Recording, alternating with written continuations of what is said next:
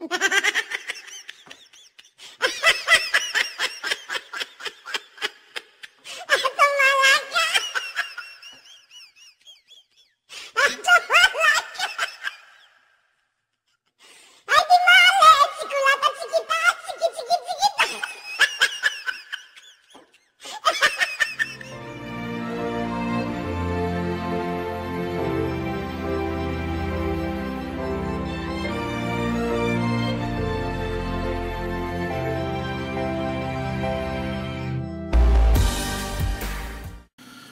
guys and gals and friends of YouTube, uh, another small build project here.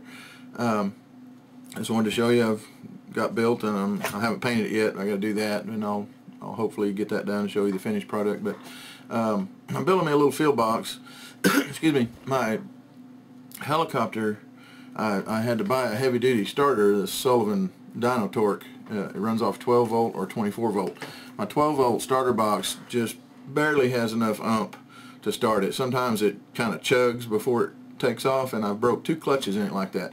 So what I'm doing, I'm building me a little field box for this starter and I'm going to run uh, two uh, 7 or 11.1 LiPo batteries in series which will make it 22.2 volts. I can run up to 24 on this. My friend Andy already built him one and man it just zings that, that 91 YS engine right over and I can still use it on my plane. So the box I'm going to build uh, I'm putting a 22.2 volt jacks on one side and on the other side is going to be a 12 volt panel. It's also small enough and portable we can move it around and use it to run our chargers off of and stuff at the field. You know I also have a big battery in my big black toolbox but uh, this will be smaller and easier to move around and this is a small 12 volt battery so but it works great for chargers. Uh, but the LiPos will be running the starter off of it. But anyway I'll show you kind of what I got going here and, and show you part of the build. Okay, um, I, I bought a, a piece of, uh, oh, what is it, 3, 3 sixteenths, a little under quarter of an inch wood, cabinet building wood at Lowe's. I marked, I drew this all out on paper, uh, measured the size and everything I wanted using a, a, a ruler and a square. And then I took those measurements, uh, took my board up to Ken since my table saw and stuff is buried in my shed anyway, I went up to help him yesterday anyway, so we cut them out. We cut the pieces out on his table saw, did the angles on a bandsaw, drilled the holes for the handle with Forstner bits, and uh, cut all the pieces. And I'm going to epoxy the joints together with this, and then put finishing tacks in the seams also, all the joints. Uh, and then on the floor of it, I will also put square stock around the base glued in. Uh, then what I've got, is, here's the, the piece with the panel. Um, it's not mounted in there yet, it's just in the hole. But there will be a center section about halfway up off the floor that this 12 volt battery will set in and that will hold it. It'll be about right there. That will hold that. And then these LiPo batteries will go on each side of that with some Velcro and then there'll be a lid over the top of that as a floor and it'll have some little straps on one end that I can pull it out. This will be removable so I can get in there to get my batteries out to charge it and then my starter will sit inside this uh, here. But we got all the pieces cut. Uh, I've got these holes cut out. Now I I couldn't I didn't know where my jigsaw was. The ideal way you, you can drill holes in the corners and then take a scroll saw, which I have, and take the blade loose, stick it up through here, and cut those out. Probably smoother than this, but it's not going to show, so I didn't care. Um, or a jigsaw. Uh, the, the thing I used was, uh, I've got this little, a set of these little miniature saw blades. this one, you can see how big it is. My fingers, it's probably inch and a half, two inches across, two inch anyway, uh, this is a little saw blade. It's very dangerous, so you have to be very, very careful when using this to cut these these holes out right here. Uh, when you're holding the board, you, you want to keep this steady and straight. Do not let it get in a bind or jerk. And whatever you do, be careful where your finger placements are underneath while you're cutting this because it will take a finger off really quick. So that's what I used. But uh, I think I got this blade set I want to say Harbor Freight, but I'm not real sure. But anyway, it works good. So, okay, we got all the pieces out. Uh, we'll start putting this thing together. oh, well, one other thing I've got to do. I have to cut these leads off and solder Deans on. I have a uh, three-wire Deans which will hook up in series. Uh, the two batteries will go here, and then this will go from a Deans connector to these banana plugs that will stick out of the panel. My starter uh, wire, I have put banana plugs on it for my panel, so we're going to use those. And uh, anyway, I'll show you how I put all this together. And and uh, anyway, enjoy.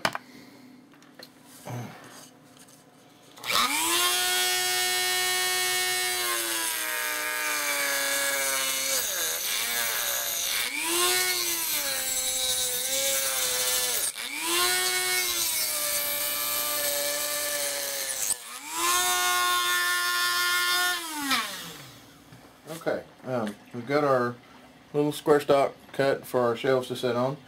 Um, got my lines marked where I want them. I'm going to put them at the bottom of the lines. We're going to make some 6 minute epoxy. We'll use clamps to hold these in place uh, while they dry. And then the sides joints we'll use uh, 30 minute epoxy. We're using 6 minute on this. Uh, but anyway, let's get some glue mixed up here and we'll put a couple of these together and let them set while we're working on the others. Mix up even amounts. And up, let me let's see, I need to get a mixing stick. Okay, mix that up thoroughly till it's kind of a milky color. And it smells really bad too. Uh, ooh, rotten eggs or something. Okay. Now, I want to figure out which way this is going to lay. Okay.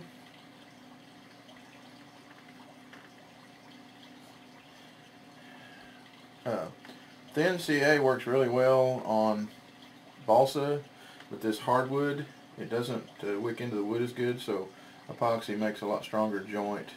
Plus there's going to be some weight in this, you know, shifting around, so. Um, Alright, lay that end on there.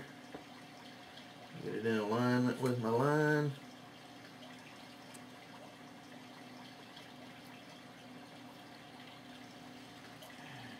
Now, see if I can manage to get a clamp on here without moving it.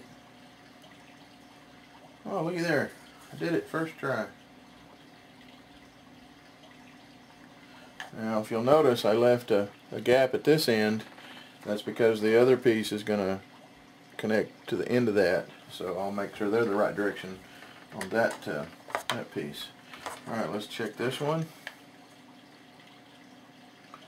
These are a little bit warped here and there, so I'm going to turn it to where I get it level. Okay, do that side. Now, let's do this side. It's got a little bow in the middle, that way we can push the bow out of it with the clamps. Okay, start right here. Put our glue on here. You get uh, this epoxy glue on your hands, for whatever reason, it will wipe off really clean with uh, denatured alcohol and a paper towel. When you're using epoxy, always keep denatured alcohol around. That's, that's what will clean it up. Okay, let me get this one in place.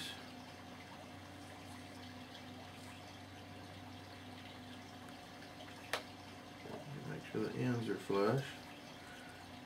Get a clamp on that. We'll turn it around. Clamp on that end. Okay, there's one of them. We'll get the rest of these glued and we'll come back and show you how we tack it together. Okay, uh, be sure you test fit all your pieces. Make sure they line up before you put any glue or anything like that on them. They all fit Got them where they all fit like they're supposed to. So, uh, we'll start gluing and tacking this thing together. Let me get some glue mixed up. We're going to use 30 minute epoxy on this, so hopefully we have time to tack all these together. I'll be right back.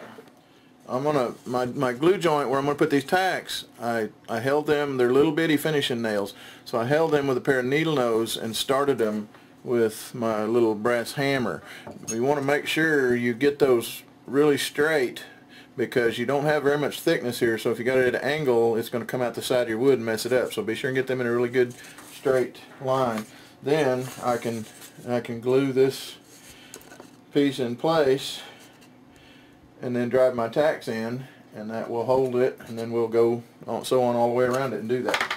Uh, so let's let's get a couple of them glued. Okay, start putting our glue on here. Don't need a whole lot, just enough to joint it. I've got my paper towel handy with my alcohol to clean this off with. Alright, this one goes right here. So I'm going to use this over here to stabilize it, to set this on. I guess it'd help if I got the right length, wouldn't it? Alright, we want to line this up very carefully, especially the bottom of it. It has to be perfectly flat. Now we're going to gently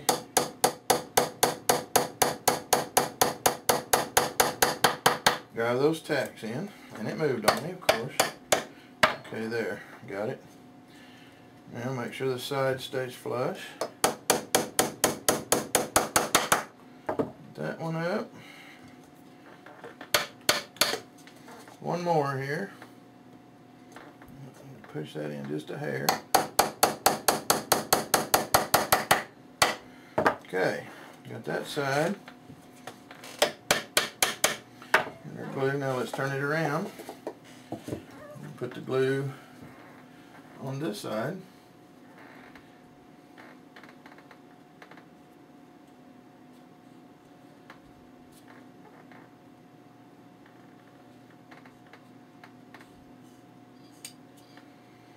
We are working with 30 minute epoxy here, so we have plenty of working time.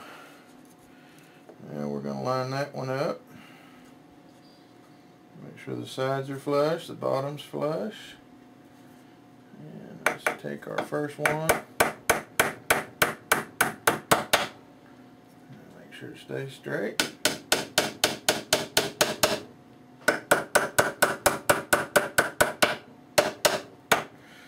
Okay, got two sides, they're glued, nailed. All of our runners on the inside. Oh, I got one backwards. How about that? Isn't that just lovely? See? That's why you fit everything first, and I didn't do a very good job of that. So now I got to dry these back out.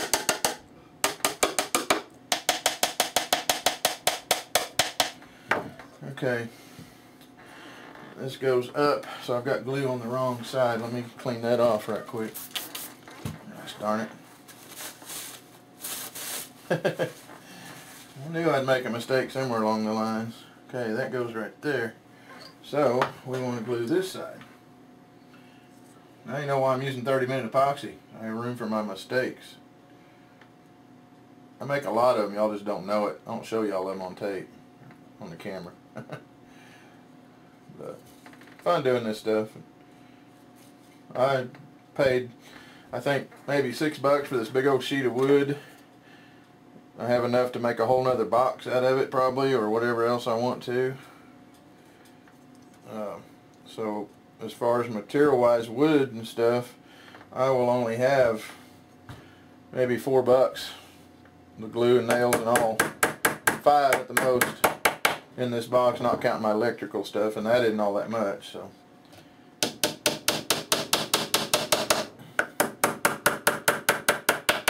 Okay, now our runners are lined up. and now we'll put the floor in, bottom, and make sure it fits good. All lines up, which it does. Okay, we're going to put glue on these three sides and uh, nail this thing. And I've already started all my little nails in the side of this thing, so don't have to worry about driving them and I mean all I got to do is finish tapping them on in they're already started. I did that before I got ready to put this in. Okay let's rotate this around.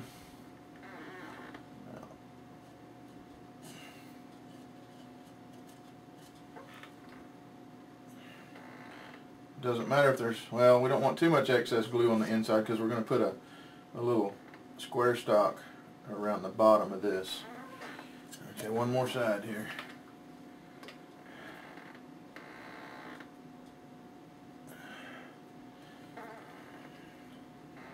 And I, I will, uh, I wanted to get this put together because I'm going to fly tomorrow, or not tomorrow, Sunday. Uh, I will get back to work on the Edge 540 here as soon as I get this done today. I'll start doing some more. I've already got some more done since the first video, but I'll do some more. Okay, we want our non-glued side out, and it doesn't matter which side goes in.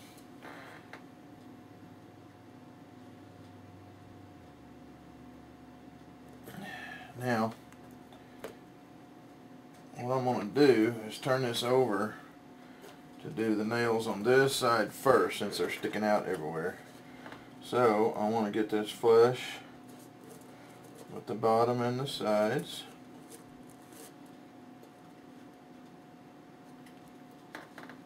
Okay.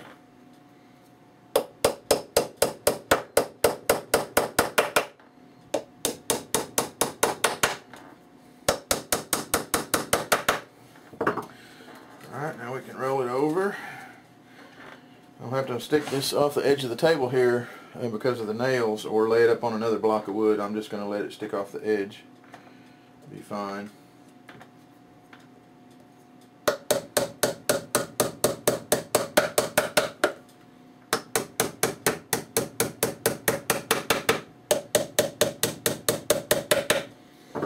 Okay, there's three sides. Oh, I've got to do this one.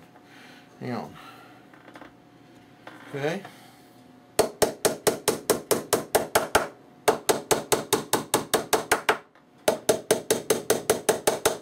The nails will strengthen it, plus it'll hold the glue joint together. By the time I get all this in here, it will be very strong. And then this piece right here will, uh, it'll actually glue in here also. So that all the way to these three sides. So that's going to make it even stronger. And I left this space right here. You'll notice this cutout. Let me get this camera down here. I left this cutout over here because of the panel uh, sticking in there. I had to have clearance uh, for that to clear the wires and stuff. And I left an inch right there. So we won't put this in until after we put the other side on. I'll have to mix some more glue. It's starting to set up now. But uh, anyway, we'll get the rest of this on and I'll show you how to put the innards in it. Got it all together pretty much outside. Um, I don't know if you can see in here or not but I ran square stock all the way around the base for the floor to reinforce the floor. It's it's tacked and glued all around the edges plus I put that square stock and glued it in. That'll help reinforce that floor because the weight of this battery is going to be sitting on that. So now we've got this piece in the middle. Uh, I will put glue on it and glue it down to my little runners I put in there and then uh, get the batteries installed. And then this last piece is the lid and I'll put a little piece of ribbon on one corner of it inside where I can pull it out and it will set in here like so. That'll be the lid but I'll have a little ribbon there that I can pull it and uh, get it back out. And then my starter set in there just like that. And I have a handle up here. I got to glue the handle in so that'll be my heli starter box and then uh, we'll use this 12 volt panel for charging batteries. All of our chargers run off 12 volt and AC so we use them a lot at the field. So we'll have this 12 volt panel in here uh, for chargers and then on this side I'll drill two little holes over here and put my uh, banana plugs in here for the 22.2 volt outlet for this starter and I will label that uh, with a plate so you don't plug a charger or anything else into it. The only thing you'll be able to run off of this is that starter. But be a nice little handy field box and uh, almost done here. Get the rest of it put together and show you that and then we'll paint it. I have a completed box. Uh, got my 22.2 volt jacks here. I'll label that with a little, probably a little metal plate or something. Uh, my helicopter starter so it'll crank that big old YS91 over. Um, then the handle glued in. I've got to sand the end of this off right here. I got to paint the thing, of course. And I got my panel, 12 volt panel on the other side, and I can run chargers or uh, whatever off of it. Fuel pumps. My my heli fuel jug has an electric fuel pump mounted on the side of the jug. I can plug it right into this and use this to pump my fuel. So this will be mainly my heli box, and then we can use, you know, over here and then a pump. But we can use it also to start, uh, you know, run chargers and stuff like that. Um, there's the, the floor of it. It will come out. I put a I just put a little piece of ribbon between two pieces of wood and glued that to the back. And that way, when I stick that in there, I can uh, get that out real easy. And got my batteries and everything inside. I got to put the Velcro on these and the tips on them. But I'll be able to get in there. To, uh, the 12 volt battery I can charge through the charge jacks right here on the panel. But the LiPos I'll be able to unplug them from the Deans, pull them out, charge them, and put them back in here. So uh, one thing I haven't put on here yet too also is a volt watch that I'm going to mount right up here and it'll be wired into the 12 volt where you can push the button and it'll light up and tell you how many, you know, if your battery's getting low or not. So I can kind of watch that. So I'll mount it probably right up here at the top. So anyway, uh, all finished putting it together. I'll take the batteries back out of it in the panel. Uh, I've already kind of sanded the edges a little bit. I got a little bit more to do and then we'll we'll paint this thing up and I'll do the finish up on the video on that. I'm going to try to paint it two-tone. I'll have to tape some of this off. I'm going to do, I don't know, probably a orange with some black trim on it, something like that. So, I don't know. Something that'll be bright and be able to look around and see it at the field. So, Alright, we'll be back when we get it painted. Okay, uh, well I'm letting my paint dry. I've uh, got my panel wired up. I uh, soldered two leads on to clip onto my battery. Also in that same solder joint I soldered on uh, red and black wire tip and then my volt watch uh, that I put on the outside I'll drill a little hole and I put the other end of that on that I'll run that through that hole and I can plug that in and uh, take it off or out if it goes bad or something I can always change it. My other box I soldered it in solid so I have to unsolder it but this one I decided to put a plug a lot easier to deal with. So that's all ready. As soon as the paint dries, we'll get this thing put together and see if the lights work. Okay guys, got her all painted, panel installed, got the volt watch down here. Battery's low, need to charge it. It goes to my 12 volt battery. It's all 12 volt panel. And got my batteries in here, got the wiring all soldered and plugged where I can take the LiPos out and charge them. And uh, this tray right here sit right in there like that. I've got a little ribbon here I can get a hold of and pull the end of it up.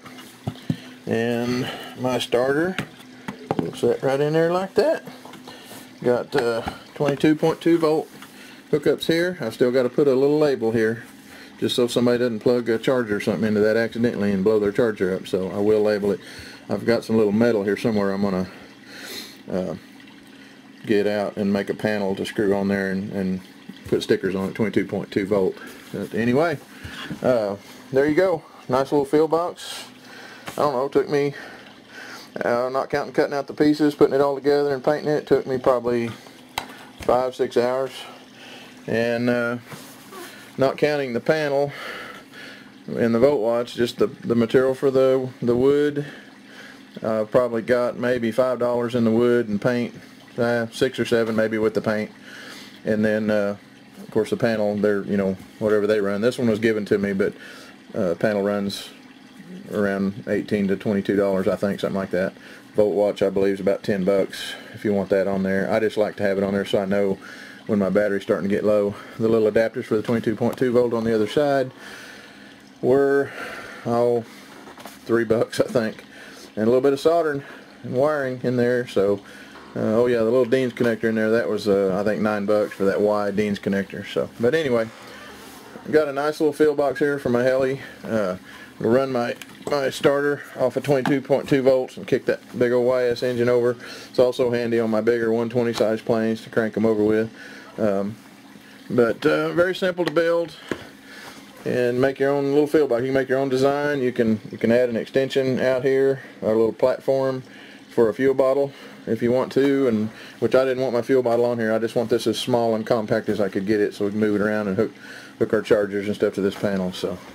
Alright there you have it. All done. See you at the field. Thanks for watching